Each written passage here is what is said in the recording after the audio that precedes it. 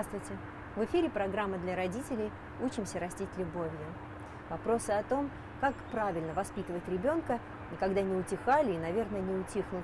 Но есть две распространенные крайности. Первая – пускаться во вседозволенность. Вторая – держать детей в ежовых рукавицах. Герои нашего следующего сюжета воспитывают своих детей совершенно иначе. Для них главное – это доверие и честность в отношении с ребенком. Федор и Екатерина Ивановы – родители пятерых детей. Старшие ребята оканчивают школу, а младшенькие только пойдут в первый класс. Более откровенного интервью о проблемах, трудностях и семейных правилах у нас в программе еще не было. По словам героев нашего очередного выпуска, честность – это не только основа их характера, но и основной секрет воспитания детей. Глава семьи Федор Михайлович работает кузнецом. Свою профессию он любит, но изнуряющий труд по 10 часов в сутки не позволяет полноценно уделять время каждому ребенку. Ведь пятеро детей с совершенно разными характерами, интересами и взглядами требуют индивидуального подхода к воспитанию. Знаете, скорее всего, не справляемся, потому что когда справляется э, семья, она как-то на виду, она как-то вот показывает, что вот там образцово все. На самом деле этого нет. Есть свои трудности. Там и сына прихватывала милиция, там погулял после вечером, то есть какой-то там, ну, какие-то вот такие моменты. Но я считаю, что они как бы совершенно обычны. Мы через это проходили в детстве. То есть не надо к этому относиться как... И, и, может быть, и может быть не надо рассказывать всем вокруг, потому что сразу начинаются какие-то очень такие, особенно для жены, такие как бы за глаза, в спину там могут сказать, наплодили там нищеты, там ни образования, ничего. Как бы тут тоже как бы момент такой, не надо все выставлять на показ, ни радости, ни какие-то свои внутренние, это все в семье, это все переваривается само. Это как-то выходит потом. Ну, был переходный возраст, побесился мальчик, там, поговорил папа с ним, там еще что-то. Где-то урезали его в чем-то, где-то наоборот что-то разрешили. То есть э, там, ну, такие какие-то дипломатические ходы, какие-то силовые ходы. То есть я совершенно не стесняюсь, могу и ремнем шлепнуть, и, и сказать резко и грубо. То есть я не считаю, что там, православная семья должна быть закатыванием глазами вверх, там, и там, боже мой, чтобы там мальчик там не подумал. Нет, ничего подобного. Чем детей главное любить. Они это чувствуют. У них ложь какое-то притворство, какую-то недосказанность, очень, очень любой ребенок почувствует рано или поздно. Рано или поздно, что взрослый сам с этим столкнется. Мама домохозяйка. Основные заботы ложатся на ее хрупкие плечи. Всех накормить, одеть, помочь по учебе. Однако видеть всю семью в сборе – это такое счастье, по сравнению с которым меркнет и уходит на второй план любая сложность, любая проблема с появлением каждого ребенка у нас как-то вот что-то появлялось всегда. Это тоже сначала там были без квартиры, без там, машины не было, а как-то вот каждый рождался, и что-то у нас новое такое появлялось, и постепенно, ну, ну это если из области материальных, конечно, вещей, а и духовно много появляется, духовного опыта какого-то, и э, сам растешь вместе с ними, и, конечно, обязательно, если это семья, то она подразумевает ну, большое количество, наверное, детей. Дом полон, да, бывает много веселья. Бывает, конечно, устаем очень сильно. По-разному, как и везде. Интернет, телевизор, друзья. Ивановы-старшие предоставляют право выбора своим детям и считают, что доверие в этих вопросах очень важно. И если доверяешь сам, то можно рассчитывать и на взаимность. Ну, я не обманываюсь. Я действительно думаю, что дети не лазят по каким-то таким сайтам. Они более-менее заняты. Вот дочка в театральном, старше немножко, как бы, еще не определился, куда ему что, и по интересам. Но вот. Но в основном, конечно, эти игрушки, они затягивают сильнее. Но, с другой стороны, сейчас, э, может быть, это слабость, конечно, родительская, что пусть лучше сидит дома, чем болтается на улице. Это не только мое мнение. Это многие сейчас семьи как бы немножко прячутся за это. Это у нас нет сил просто и каких-то возможностей прицепить ребенка к делу. То есть тут нужно, чтобы он подождать какое-то время, иметь вот это терпение, чтобы ребенок сам немножко выбрал. Вот, например, я в 35 лет, в 34 только понял, чем мне заниматься. Ничем другим больше я заниматься не могу. Это будет, я чувствую, растрата моих сил – каких-то жизненных такой вот энергии на какую-то чепуху, которая, может быть, там где-то будет более денежной, но она вымотает меня так, что я просто где-нибудь... Вот я как бы жду от детей этого, чтобы они тоже определились так. Ну, тут как бы важно тоже не переждать, потому что ребенок, да и знакомые моего, моего возраста есть, которые живут с родителями, просто живут в этих игрушках компьютерных. Запрещать, он пойдет что-то другое возьмет. Опять я не услежу, тут хоть как-то рядом под боком. Согласен, это слабость родительская, но работая по 12 часов в день, я, мне может действительно не хватать но я четко даю понять ему, что он пример для маленьких детей, и он где-то, наверное, его это сдерживает. Старшего, дочку, как бы, что они на них смотрят, и там, не дай бог, там что-то не то покажет, и разберусь круто. Старшие, ну, они все равно тянутся к родителям. Они с удовольствием приходят вечером там посидеть с нами там какое-то время перед сном, мы собираемся. Вот, то есть у них свои друзья и какие-то интересы. Вот у дочки театр – он нас туда не пускает, как бы тоже так интересно проведать, что там такое. Вот. Но в основном сами тянутся дети, а младшим, конечно, другой надо, чтобы я был рядом, посидел, там, поиграл, что-то там построил с ними. Как бы, ну, старшим совершенно это так. Ну, как бы так, садимся, когда вместе. Ну, за столом не помещаемся, поэтому тоже какими-то частями.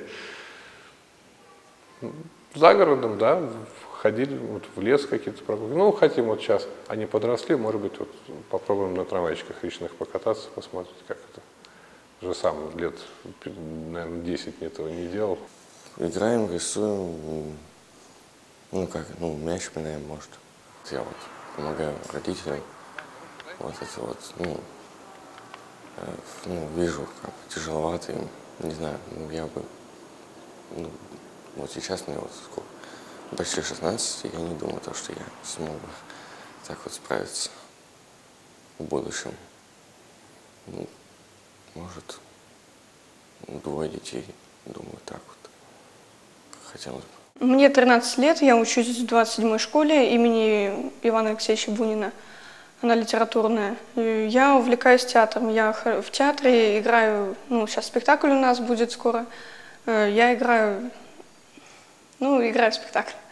В общем. Э, там я играю служанку, но как бы там будет перевоплощение, каждый, каждая сцена будет новая. Когда нужна чья-то помощь, обязательно кто-нибудь поможет. Там старший брат, если попросить с алгебры, обязательно там, ну, поможет, он же, ну, знает как бы это все. Там ну, иногда я сама младшим помогаю, там, кому-нибудь, тоже младшему там с математикой помочь надо, там какой-нибудь самый простой пример, ну, спокойно помогаю ему.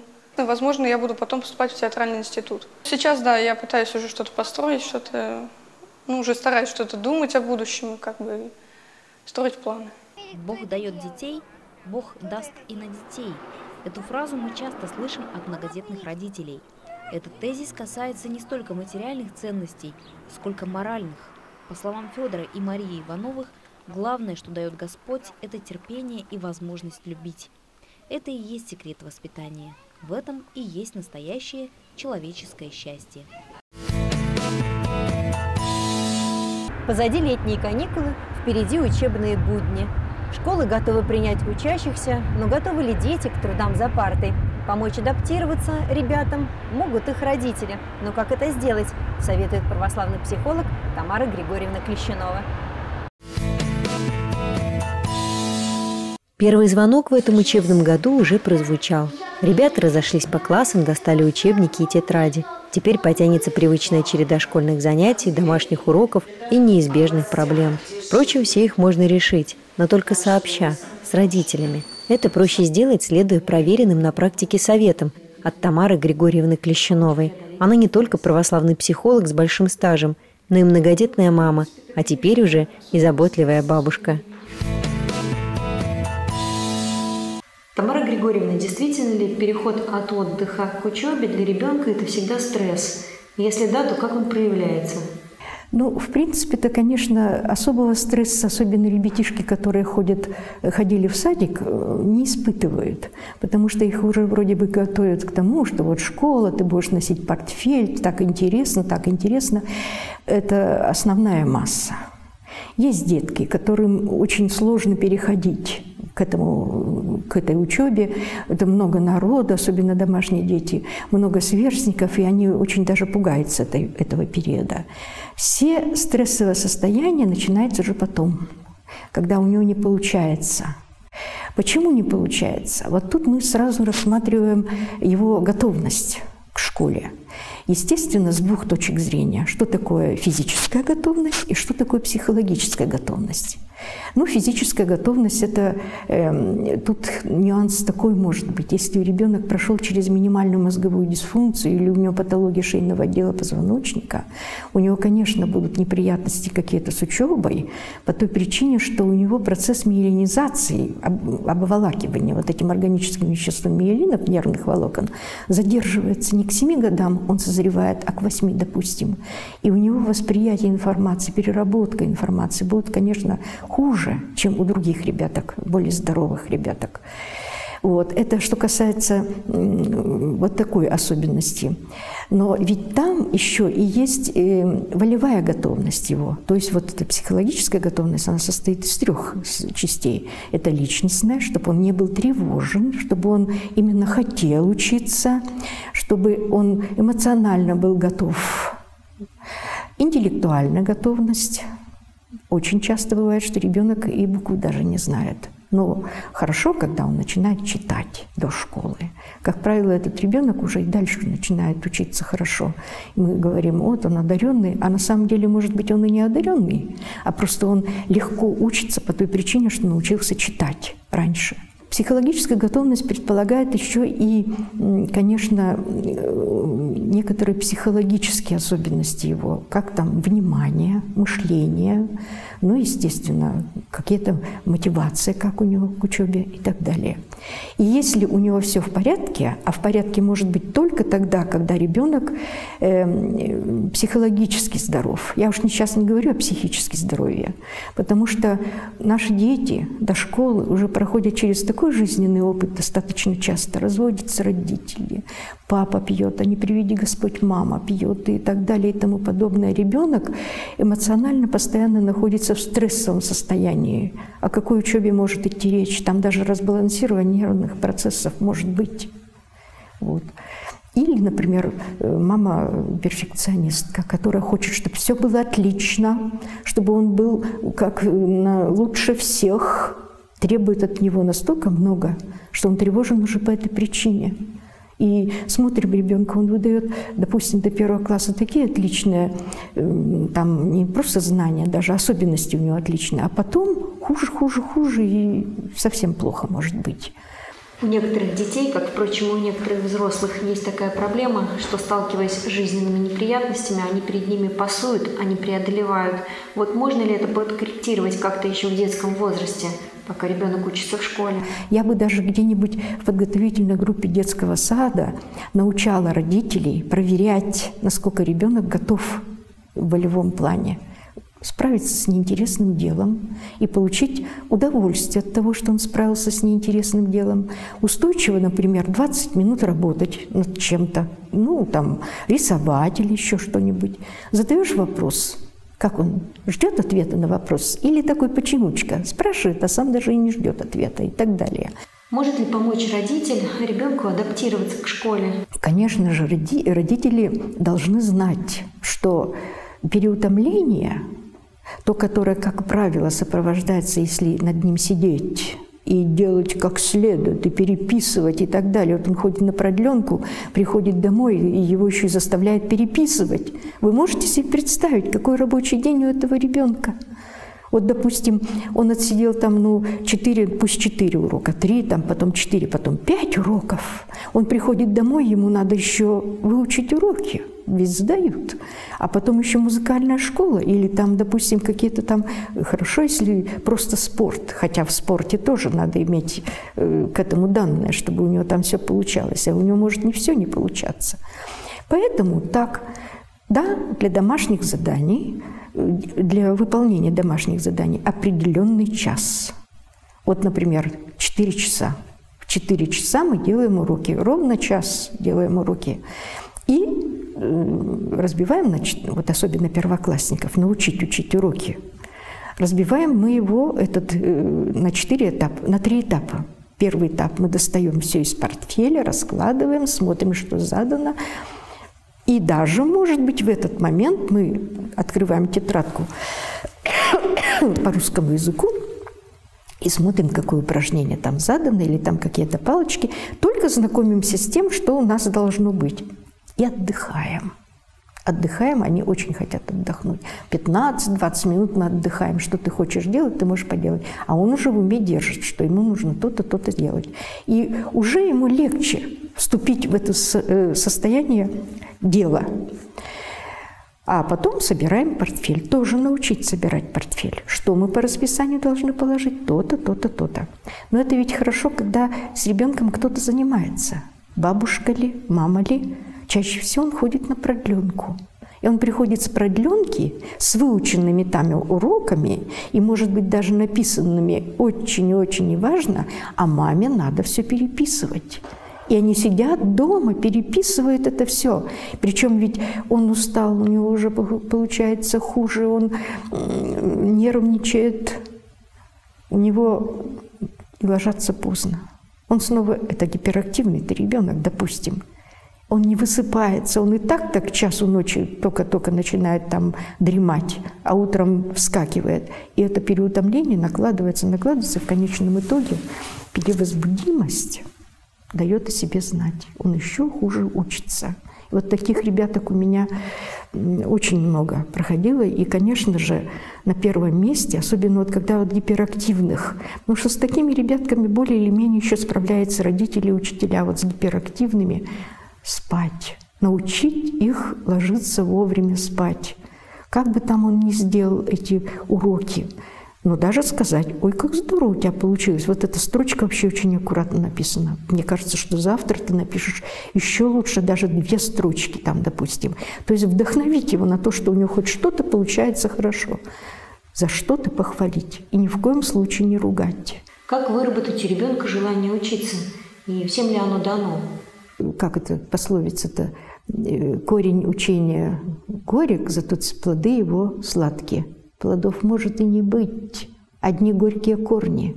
То есть до такой степени переневоливаем, что у него вот это вот не развивается, вот эта любознательность, вот эта познавательная деятельность у него перестает работать. Все время его пинает и пинает, чтобы он читал, чтобы он и так далее вместо того, чтобы его привлекать к этому именно приохочивая. А как это сделать? Ну, по-всякому. Например, ну, тот же чтение. То же чтение. Ведь, в принципе, ребенок должен читать. Значит, начинать надо самим. Вот, например, я читаю страницу, а он другую страницу читает. Сейчас с внуком у меня десятилетним так. Я еще страницу. Причем выбирать книжки интересные, чтобы ему хотелось это делать, читать. И, кстати сказать, вот те же диктанты, когда ребенок пишет безграмотно, можно по полстранички каждый день делать диктанты. Вот опять-таки, как лучше это все сделать? Значит, 25 диктантов. Пишем 25 диктантов. Каждый диктант – это 4 балла. Эти баллы можно потом даже переводить в деньги. Но опять-таки не деньгами. 4 балла. Но если, например, ты скажешь, вернее, я скажу, давай писать диктант, а скажешь, три балла. А если ты скажешь, бабушка, давай писать диктант, а я скажу, ой, я сейчас не могу, пять баллов. И выбирали такие моменты, когда я действительно не могла. Бабушка, давай-ка мы с тобой диктант напишем. Пять. Вот. 25 диктантов, этого достаточно, чтобы ребенок писал уже грамотно. Вот это я проверила на троих детях, на своем, а старшем, и на двух внуках. Ну а потом это все как бы баллы отоварили. И, соответственно, какую-то игрушку, которую очень хотели, долго мы, соответственно, покупали. Так что вот э, те, кто дают деньги за учебу, это очень плохо. Но какие-то поощрения в виде баллов, которые, соответственно, потом могут как бы переводиться на денежные, так сказать, дела. Это можно делать, но это только тогда, когда он сделал дело, очень большие усилия включил. Вот тогда, да.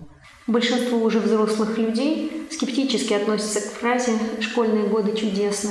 И тем не менее очень хочется, чтобы для наших детей они были именно таковыми. Что можно сделать вот в этой ситуации? Как может родитель помочь эти годы сделать более приятными? Ну, прежде всего, сделать все, чтобы ребенок высыпался, чтобы он не был переутомлен. Гиперактивным ни в коем случае нельзя ходить на продленку. Не надо отдавать его на продленку, чтобы отдохнуть от него. Он еще более переутомлен и, и хуже потом себя чувствует, и в конечном итоге накапливается это все. Теперь, с домашними заданиями, вот то, что мы говорили, это очень важно. Не надо без конца ему давать пинка, чтобы он вот учил уроки, ты должен заниматься, должен заниматься, должен заниматься. Не надо. Вот как сделать, чтобы заинтересовать, приохотить его к учебе? Вот это очень важно. Устанавливать контакт с учителем, со школой. По одну сторону баррикады – Ребенок страдает от того, когда мы начинаем со школой конфликтовать. Я даже больше скажу, когда я с правонарушителями работала, я статистику имею, что э, где-то до 49% детей, которые были вот у меня, соответственно, правонарушители, группа риска, школа и дом конфликтовали между собой. Нельзя это делать. Нельзя, надо находить точки соприкосновения во имя ребенка. Это не значит, что под двойной пресс ребенка. Нет, но, по крайней мере, смягчать, находить точки соприкосновения и, соответственно, как-то разводить вот эту ситуацию более мирно. Вот. Ну и, соответственно, смотреть, что там со сверстниками. Даже рекомендуют, вот правда это у зарубежных психологов, что надо больше приглашать ребят и делать э, дела общие, и так даже вывозить их за город, если есть такая возможность, чтобы делать хорошие дела для друзей, а может быть сверстников, не друзей, а сверстников. И они из благодарности этому родителю не так будут относиться плохо к этому ребенку. Лето прошло, но успело напитать нас самым главным – здоровьем, радостью жизни и общением. Именно с этими дарами участники православного лагеря на острове Коневец начинают новый учебный год. На берегу Ладожского озера побывала и наша съемочная группа. Традиция создавать на северных островах православные обители берет начало уже с первых веков принятия христианства на Руси. Всего 6 километров неспокойных водных просторов отделяет остров Коневец от материка. Невольно сознание представляет, как в XIV веке преподобный Арсений Коневецкий также добирался до берега незнакомого острова, чтобы впоследствии там организовать одну из жемчужин православного севера. Прибыв на остров, святой Арсений обнаружил там огромный камень, на котором язычники совершали свои обряды. Подвижник начал устроение обители, построив часовню прямо в центре древнего капища. За шесть веков своего существования монастырь пережил все испытания, которые могут выпасть на долю русского монастыря. Был захвачен шведами, финнами, пережил непростые годы советской власти, несколько раз был разрушен до основания. Сегодня обитель вновь продолжает жить. Рядом с ней расположился небольшой православный детский лагерь, о котором мы вам с удовольствием расскажем. История детского православного лагеря на острове Коневец началась 10 лет назад. На ее примере мы можем еще раз убедиться, как благодать святых русских мест не исчезает, а имеет самое плодотворное продолжение. Мы еще все учились в воскресной школе Софийского собора. Мы еще тогда начали сюда приезжать на этот остров.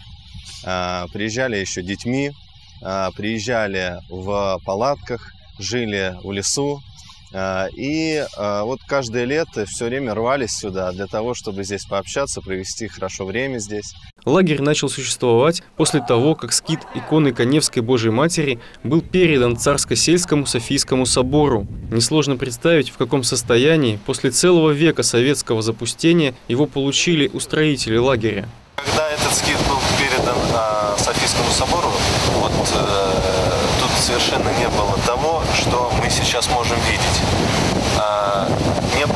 Стен вокруг скита. То есть они, если даже были, то это были остатки этих стен. Да? А храм вообще э, ни куполов, ничего не было. Здесь был проход, куда загонялись торпеды, когда здесь была база военная. Сегодня храм ожил. Детская молитва звучит в его стенах. Ребята участвуют в литургической жизни, сами поют, славят Бога на заповедных берегах Ладожского озера.